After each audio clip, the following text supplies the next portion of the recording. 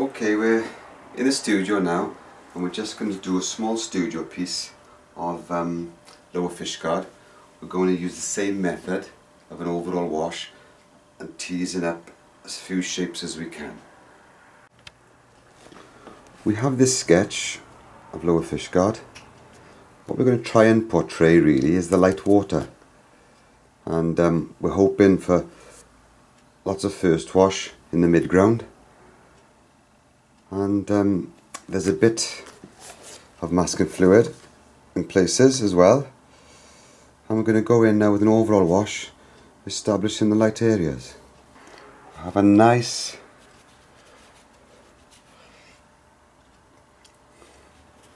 nice limpid sky.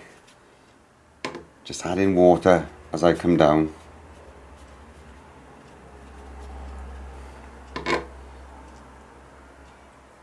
maybe even a little bit of raw sienna. Very dilute.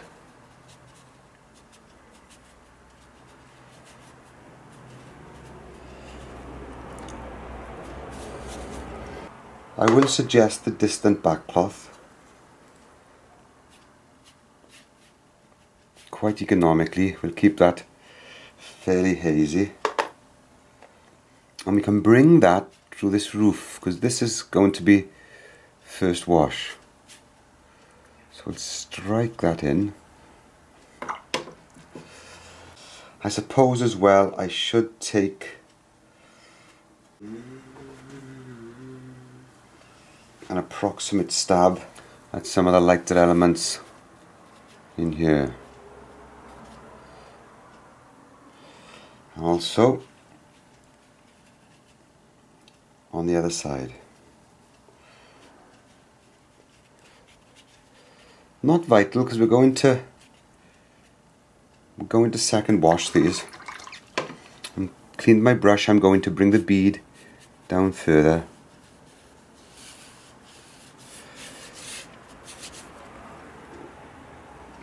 Now we can suggest the light dissections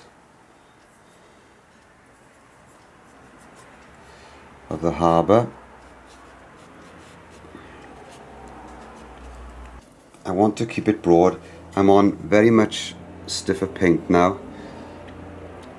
Not as stiff as I'm going to get, of course. There it goes. Just drifting it in.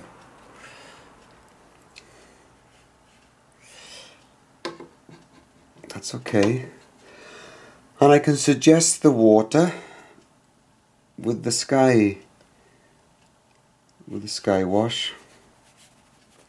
At this stage it wants to be very pale because of course I'm representing the lighter elements. So let's bring let's bring this down a minute, get the paper covered, see what I am right color for some of the boats. We can let that run. That wants to be lighter. There. And this canopy was orange too. The thing is to enjoy this and we're not expecting too much from this first wash as you can see it's colourful and light and I think that's about it. That, that gives us a nice start. Okay, it's dry now. The first thing I want to do is to tease this corner out. We said this was going to stay first wash. We've got a good dark going here. But we just need to get that little edge. So it is indeed as simple as that. Of course, I need now to get rid of the wash. So I'll add water. I can take it that way. I can take it that way. And what we shall do, as you can see, the wash gently dissipates through. At the same time, I'm going to do a little bit of work here. Rocks and things at the base. So we'll change the colour of this wash. It's going to be soft edge there because it's up against that wash we've already laid. And as I bring it down, I can vary the colour. I can suggest the flow by leaving little suggestions of strata. Let's bring it through there. Now we're in the backdrop, so we've got no need to worry and to be all all fussy. I'm going to suggest some nice strong wet and wet marks in this distant cliff stiff paint and that gives me the ability just to suggest some detailing and again we're just suggest in this strata that's enough. Let's start by suggesting a little there. Let's suggest the shadow there. It's nice and wet. I just want a little bit of water up there. Damp water, not wet water. If it's too wet, it'll it'll run through, and then I can suggest, as you see, the underside of the boat there. And this can come through there. I can take it down there a tad as well. There while that's still wet I'm going to go in with some glue what I call glue anyway it's actually just very stiff paint and again what that does is it leaves a mark just a little tease for the rowing boat a little tender thing here. I can keep this small brush, although I shouldn't. And we'll just tease that away suggested. We're just going to suggest some shadow areas on this little front boat. I'm going to put a little bit more detail on that. But for now, let's suggest some of the shaded areas. I shall pop some water up at the bottom of the hull and we'll just put the base in thus.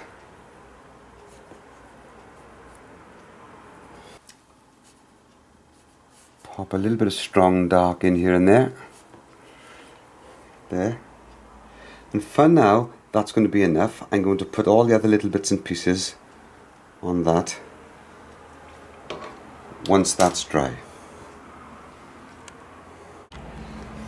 We've got this lovely little front boat um, and I think we can just about finish it because it's not going to be affected by the big wash we're going to have coming through here so I can virtually some degree of finish on this some shadow comes across there then it hits the the um whatever they call it gunnel or gunwale or top bit. Then it comes down to some shadow on the side here. And what we like about this is we can echo the slope of the boat the bow there. There. Again I can tease a bit of dark where the boat turns under.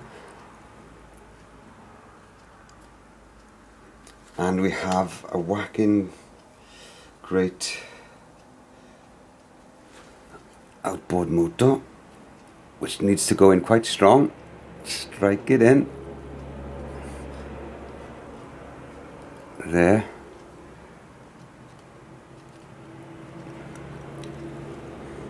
That's okay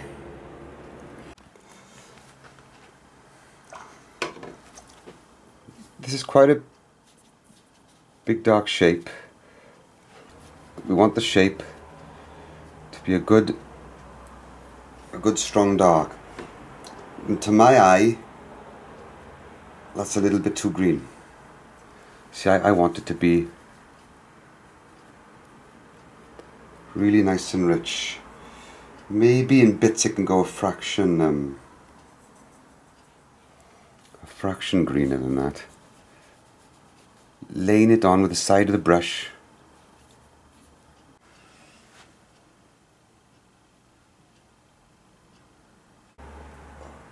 more ultramarine because I want to show this edge, don't I? There.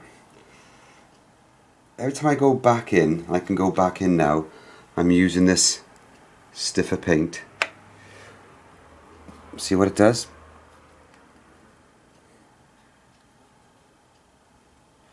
There. Let's finish off this little front shape.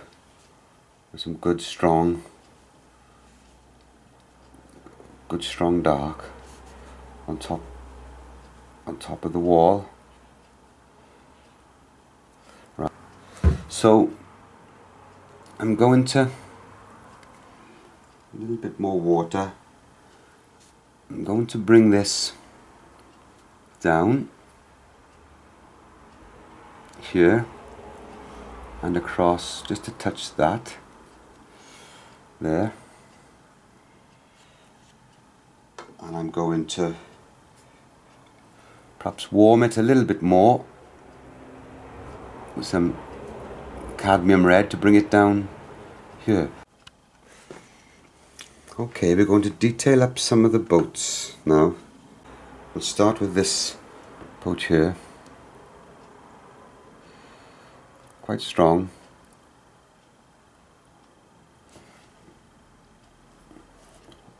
Slightly weaker back here.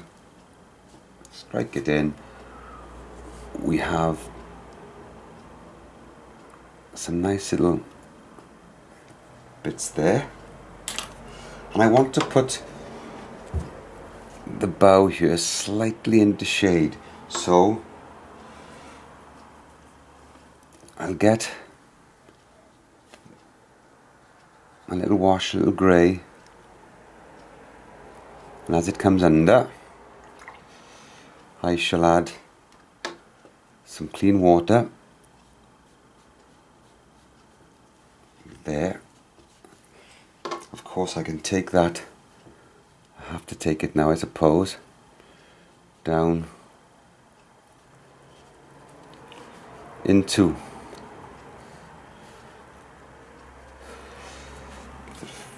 the reflection. And I just want to darken that red. To give it a bit more bite. There you go. Yeah we like that. This lovely little rowing boat I shall just darken inside darken there er That's enough. Then we have the boat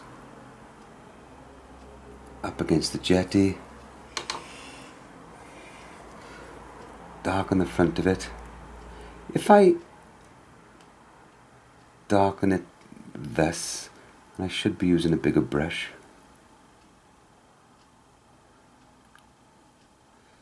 We might be able to give the impression, once we darken behind, of light coming through those windows. And I think that would be worth having.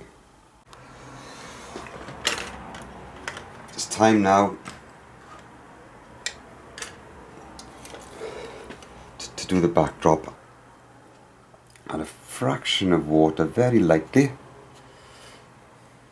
And again, I don't need to be too drastic or too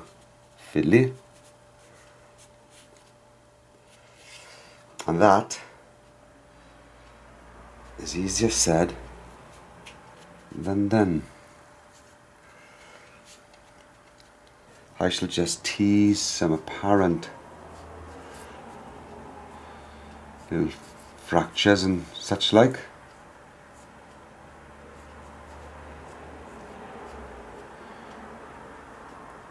Particularly down near the waterline. Go in with some stronger marks. I think I'm busy in that a tad too much so I'll stop. The harbour wall needs to be in quite a quite a shadow especially here on the end and I want this to possibly be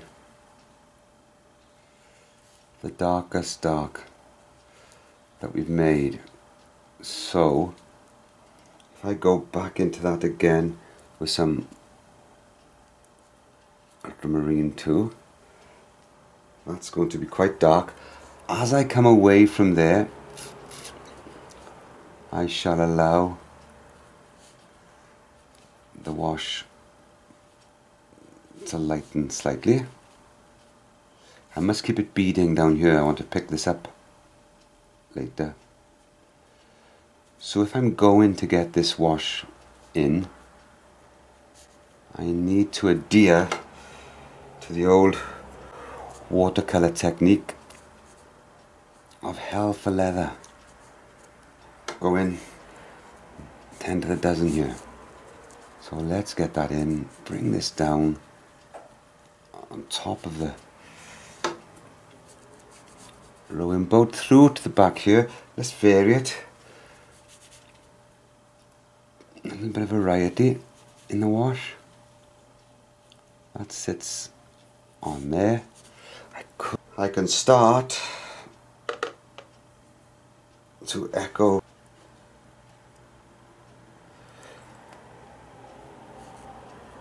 around the boat there. Bring all this through. This will either work. Or it won't.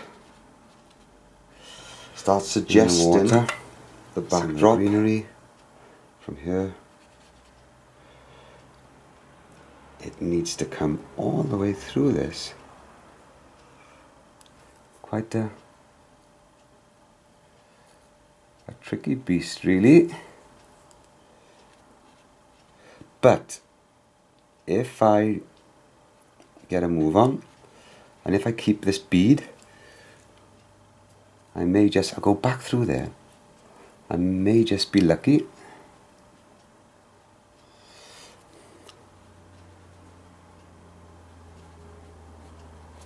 There. Right, keep going, keep going.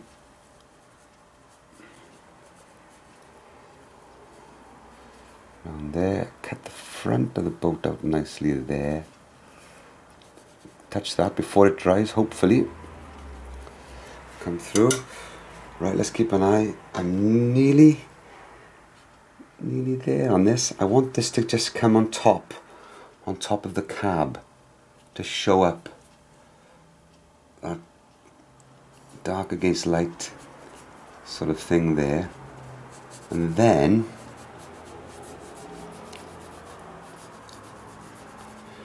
it can sort of just peter out for want of a better word. This comes round two. We're going to quickly go for this part of the harbour wall.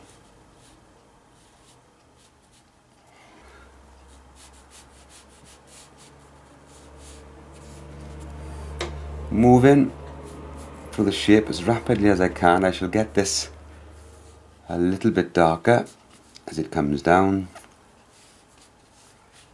And of course keeping the paint wet and beady.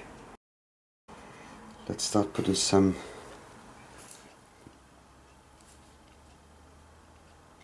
there we go.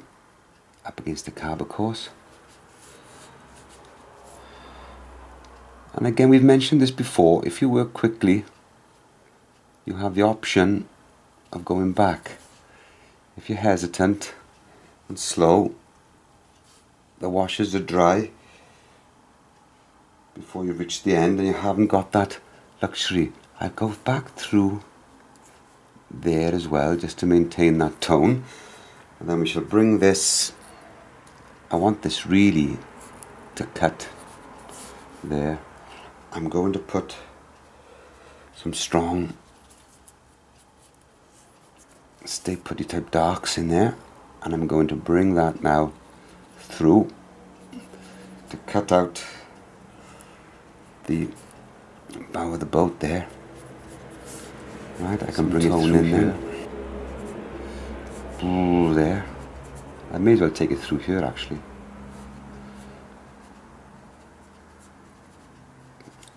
I can take it through there. Trying to keep the hand nice and loose.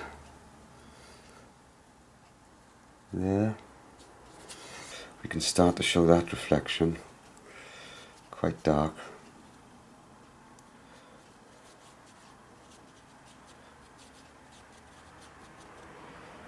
come there. Out there. I want that to be darker. Once again I've painted quite rapidly so I have this luxury.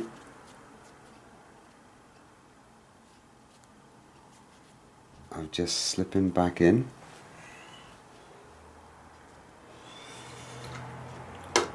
Lose a few edges to softness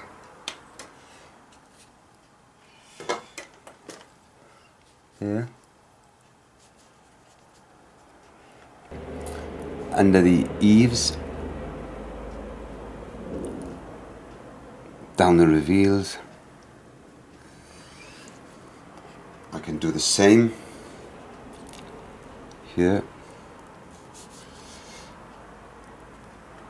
I know that this this door was a lovely cerulean. I can place that.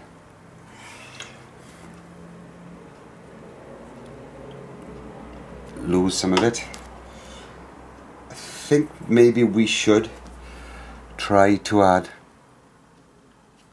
something to the corrugations. That's it for now. Just busies the roof up a fraction.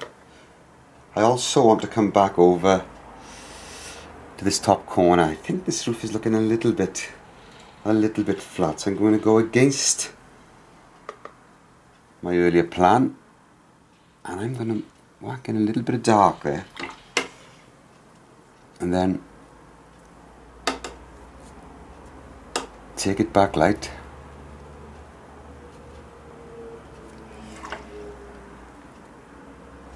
Like so.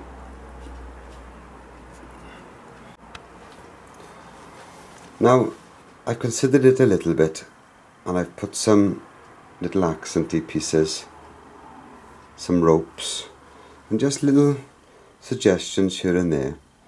and I think we're going to call this um, call this finished so there we are Fishguard Harbour